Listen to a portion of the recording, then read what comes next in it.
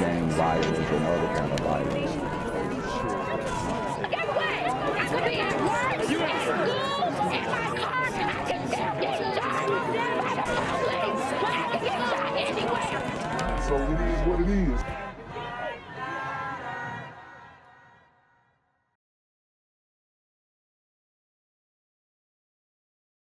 What's good, YouTube? It's the Black Gen Z Mindset. Make sure you go ahead and like, comment, share, subscribe, and let's get into the video. More violence hit our young people overnight. Police say two children, only 12 and 14 years old, got shot in Northeast Houston. Officers believe there was some kind of fight between them and people in a car on Rand Street near Lockwood. Guys, we're back in Houston where the comunita and the comunitino is on fire. Okay, you got teens getting shot in the street, right? Shot on the block, shot outside the um, housing complex or whatever you want to call it. And it's just a disgrace at this point. which led to the shooting just after 10 p.m. Police are working to find out what exactly led up to the shooting. Thankfully, both kids are expected to survive. Now to that breaking news. Two kids were shot in a drive-by and Houston police are looking for the shooters. This happened off of Rand Street just after 10 last night. HPD says the shooters were in a black four-door sedan with tinted windows. A 12-year-old boy was shot in the arm. A 14-year-old boy shot in the leg. Doctors tell police both will physically recover. Uh, tonight, our District 1 North Patrol was dispatched to the 1200, uh, 12,800 block of North Houston Rosslyn in reference to a shooting. Upon arrival, uh, deputies found one male with multiple shots uh, in a field. It's a construction site across Damn. the street from a tire shop, a 24 hour tire shop located at the 1200, 800, 12,800 block of uh, North Houston Rosslyn. Uh, we have our violent crimes that's out here investigating, and our CSU is en route out here. Uh, we don't have a whole lot of details right now. Uh, we just know that one male was shot multiple times and transported to uh, the hospital. Dang. Um, and we've seen a lot of these shootings at, at these construction sites. Um, we've seen folks jacking the construction sites and all types of stuff. Um, so it's really not surprising. You know, you you kind of try and draw up reasons why this happens, and that's all that we're doing here on this channel. You know, I'm just looking at these scenarios and you know trying to fathom how this actually occurred. and he's undergoing treatment and has life threatening injuries. We have uh, several detained that were inside the tire shop, uh, and we're in the preliminary stages of our investigation. School senior killed in a shooting earlier this year was honored today by her classmates. She received her diploma at what would have been her graduation. ABC 13 reporter Daniela Hurtado joins us live from Energy Institute High School with her story. Tom, 18 year old Naraya Champion was shot and killed by a 17 year old who was playing with a loaded handgun back in April. Mm. She never got to go to prom, to graduate high school, or to become the attorney she dreamt of. Her mother today walked across the stage with the class of 2022. Naraya Nicole Champion. Keisha Shields accepted her daughter Naraya's diploma. Wow, man. You have the mother accepting the diploma because the daughter was killed. It's crazy out here. Um, this shouldn't be a thing. And I know they tried to make it, you know, a, a, a- a ceremony. They tried to give a moment to this woman because she's going through a lot right now, but shouldn't even be a thing. Shouldn't even happen. A bittersweet moment for this family. my baby would have graduated today. But um, it was also sad is because I had to get her uh, diploma. 17 year old Sakarian Batiste is charged with manslaughter, accused of shooting and killing Naraya while playing with a loaded gun the morning of April 23rd. Mm. And her not being here with me is really hurting me. A day that should have been filled with so much promise for the future for Latrice Canary and her best friend, Naraya, was filled instead with warm embraces between Latrice and Naraya's mom, Keisha, as they remembered her. It was Naraya up there. She, she walked that stage today and she got that diploma. And that's how others perceived it too. A standing ovation for their classmate who never made it to graduation. I'm happy. She gave me what I always asked her. I want my diploma. Sunday afternoon, that was made a reality as a cap and gown was symbolically draped over a chair that should have been hers. Naraya's name will live on. In Houston, Daniela Hurtado, ABC 13 Eyewitness News. I'm here on the corner of MLK and Frederick Douglass, where a shooting just took place.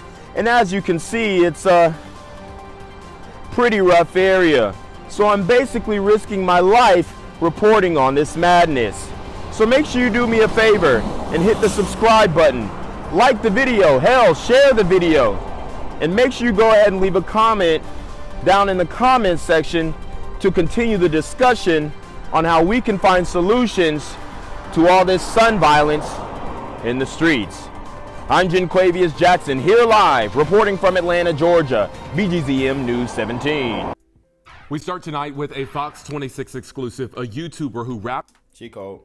about robbing banks now arrested accused of robbing one. And the story just makes you shake your head. Wow. Four people from Houston are in jail in Tennessee, accused of robbing an ATM technician at gunpoint. And Fox 26's Matthew Seedorff sharing this story for us tonight. It's one you'll see only here on Fox. And Matthew, we know one of the guys raps about robbing ATMs. Crazy. That's right, Jonathan. Just bizarre. He has a video on YouTube with a song called Make It Home, where he raps about robbing banks outside of the state, then getting back to Houston. But this time, police stop him before he gets back here. Hmm. In a now ironic YouTube music video, rapper 213 Jugg God can be seen with a gun on his waist. Cause we can't let you lose control. Rapping about Wow. And Jay Z and Meek Mill and Fat Joe and all his other rap buddies want to make it so that you can't use um, these Super Gremlins rap lyrics in the court of law. it makes no sense. Robbing banks out of state, praying he makes it home. Damn, was taking long. On Tuesday, the rapper, along with these three others from Houston, were arrested out of state near Nashville, Tennessee, accused of robbing an ATM technician at gunpoint. If you're going to rap about it and then turn around and be about it and you get caught, that's on you. You shouldn't do stupid crap. And you definitely shouldn't violate the law and talk about it. Police. Yep. I mean, at least if you're going to do the dirt, don't talk about it, bro. This man got it on tracks. I'm looking at his YouTube right now, talking about some jug god. He got all this cash. You know, they can scan those um, serial numbers too. So these dudes are really just telling on themselves, man. So, I mean, they getting whatever comes. Police found these stacks of cash with Darius Dugas, Sassandre Dugas, Christopher Alton, and with Dijon Riley, also known as 213 Jugg God. Oh, I'm looking now. He got a Super Gremlin freestyle. I definitely want to see what that talking about. So um, I might leave that link in the description box because he's definitely a Super Gremlin on Demon Time. The rap name possibly in reference to jugging when burglars follow unsuspecting people home from banks or malls to My man said jugging is is, is jugging, bro. Is jugging. steal. They want to glorify the fact that they're criminals. And that saddens me because we have all these kids watching this and they're glorifying it, and these kids look up to them. It's dumb. These guys are dumb. They deserve to be tossed under the jail just for being dumb. Facts. I like how he said it. But they might try to paint that as, you know, racially charged. I'm just telling you what they gonna think. Uh-uh, my baby ain't done. Look, my man straight rapped about everything that he did, bar for bar, and he named the song "Make It Home." I think it's safe to say that he's found a new home. Online criminal records revealed Darius Dugas and LaDejon Riley were out of jail on felony bonds, both arrested several times before. Convicted felons doing their music videos with guns. How dumb is that? That right there is enough to get them charged again if, if they do something like that. Getting this money, we just praying that we make it home. The Make It Home music video now gaining views. I ain't gonna lie, the video is hard. But as you can see, he got the strap with the extendo, pants sagging, and the fake um, Fendi belt or Ferragamo, whichever one, with the tag still hanging off the jeans. Let's go. After the arrest, We just praying that we make it home. one person commenting, looks like you didn't make it home. These four people from Houston now face federal charges. I'm told the FBI is now investigating to see if they've committed similar robberies before. We're live in Houston tonight. Matthew Seedorff, Fox 26 News. So guys, you know I love going to these um, these guys' IGs and seeing what they up to, man. Uh, obviously, this is the guy who was robbing the ATMs, and most likely he is gonna get out um, eventually. I think the feds picked it up, so he probably gonna do some time, maybe like five to ten. Uh, but who knows? You know, they're the, the way they doing the laws right now. You never know. But if it was a state thing, I guarantee he would he would have been let out. Um, but here he goes. He's flexing. You know, playing with the the seals and all types of stuff. You know, traveling, making it look good, making it look nice.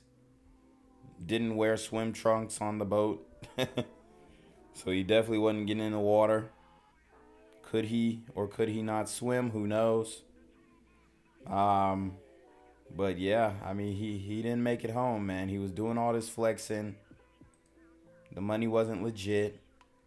Stealing it from ATMs and you know, icing out Rolexes, which devalues the watch. But hey, go off.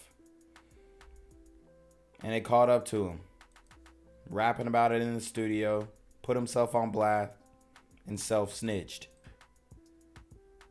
These super rapping gremlins are on demon time. gang violence and other kind of violence. Guess what? I could be